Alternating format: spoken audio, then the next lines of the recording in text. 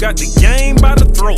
Okay, you popped up on me by surprise. And see, I never took you for the popping type. Damn, it's 4 a.m., so please believe.